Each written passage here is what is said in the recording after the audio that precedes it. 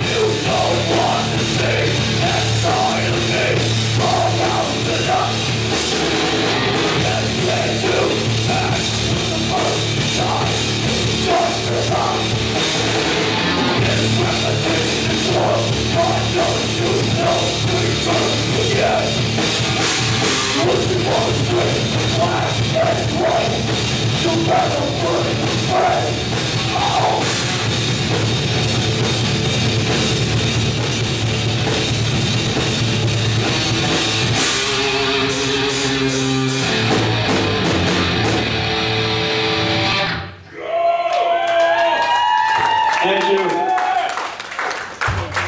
Uh, This next song is uh, kind of a personal thing. Anybody that's dealt with anxieties. Stop it! You know, personal, personal battles within yourself. It's called pickaxe.